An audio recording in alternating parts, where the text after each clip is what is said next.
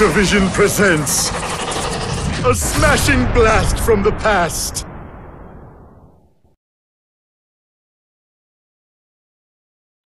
Developed by